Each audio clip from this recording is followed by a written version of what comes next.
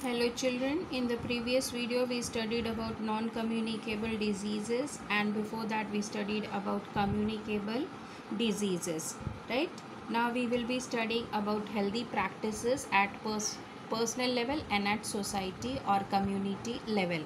So the first one is healthy practices for personal hygiene. But before going into the uh, study of this particular topic, let us first find out what do we mean by hygiene. Okay, so practices that help in maintaining the health of the individual through cleanliness so that the spread of diseases are prevented is called as hygiene. Okay, so if you are practicing some cleanliness steps, okay, like washing your hands or having a bath, okay, such type of practices will keep you healthy.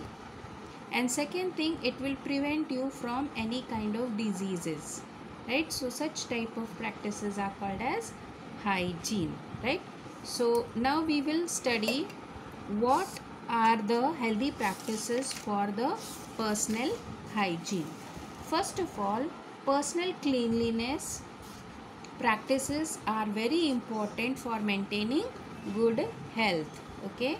Personal cleanliness practices are very important for maintaining good health. And they will also prevent us from any kind of diseases right that is why it is said that prevention is better than cure so if you prevent yourself from diseases by maintaining personal hygiene then it is better than cure okay that you, you will have the disease and then you go to the doctor have the medicine ये सबसे अच्छा है you uh, carry out personal cleanliness personal hygiene so that you are prevented from any kind of diseases okay? Next thing is when we practice personal hygiene our body becomes clean and free from germs okay? That is why we practice the personal hygiene or personal cleanliness. Now what do we do in personal hygiene? The first thing is we take care of our body okay?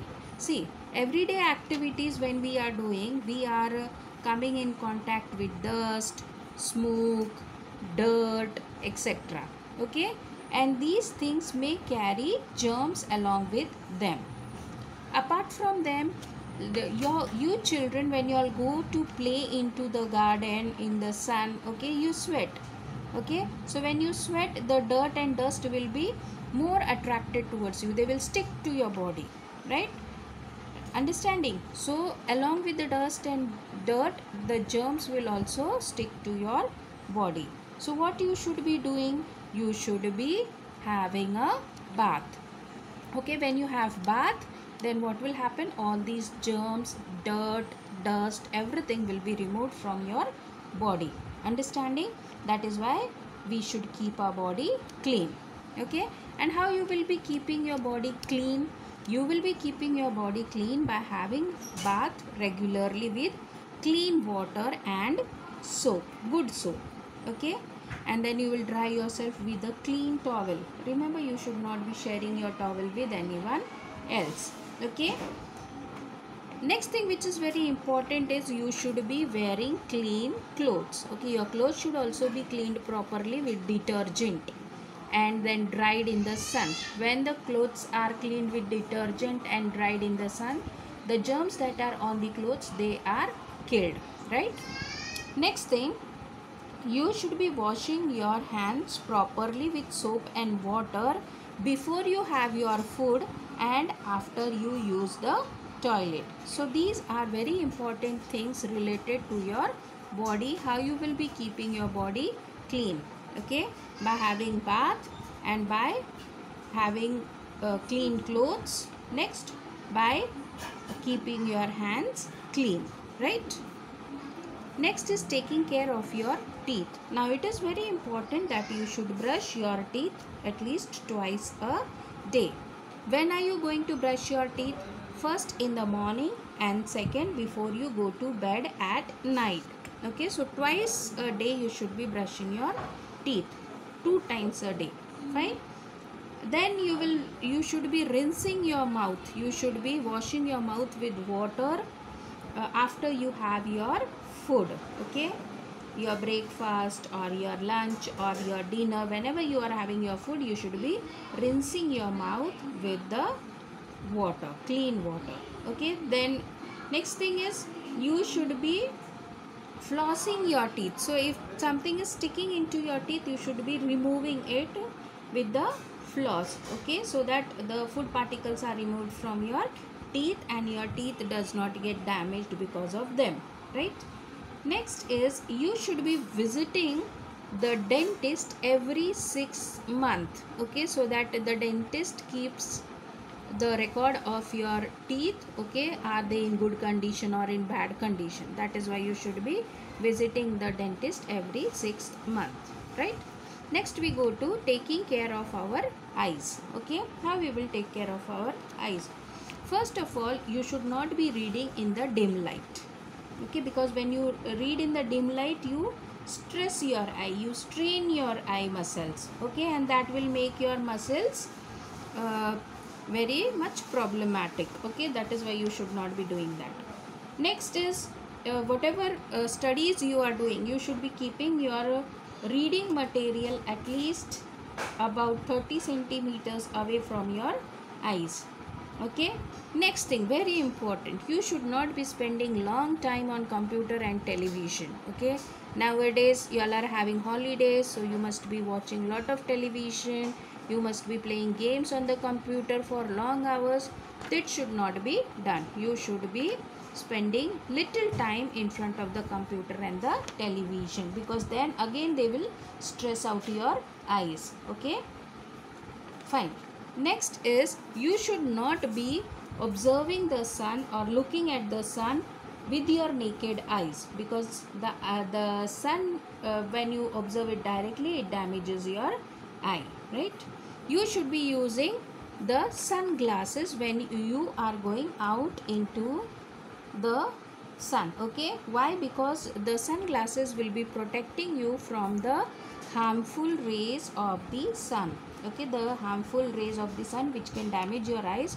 Those harmful rays can be protected from going into the eyes by using the sun glasses okay next thing you should splash clean water into your eyes twice to thrice a day. Okay that will uh, soothe your eyes okay keep your eyes calm right? Then if you are having any problem okay with the vision okay if you are not able to observe the things that are near to you or far away for, from you then you should be going to the ophthalmologist or the eye specialist. Understanding so that is why you will be taking the care of your eyes. Next taking care of your hair. You should wash your hair regularly with shampoo okay? If you are having lice or dandruff in your hair then you can use medicated shampoo okay? So that they can be removed from your hair right? You should be uh, applying oil regularly okay? So when you apply the oil regularly on your scalp then it will not turn dry. Okay? Hair should be cut regularly because it will uh, especially in case of boys okay uh, the cutting of hair is very important because it will be keeping your hair healthy. Okay? Combs and hair brushes should be kept clean and it should not be shared.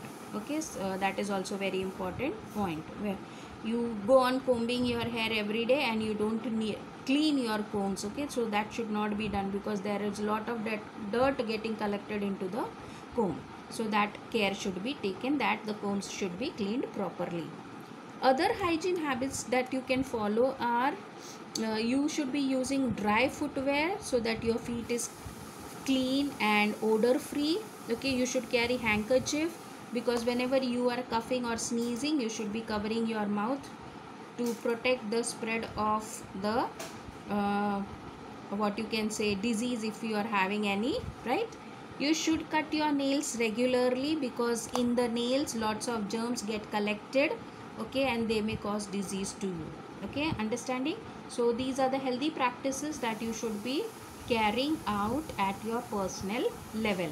Okay taking care of your body by bathing taking care of your uh, teeth by brushing your teeth twice a day taking care of your eyes by not straining them taking care of your hair by washing them regularly with good shampoo okay and other ha- ha- habits of hygiene right? Okay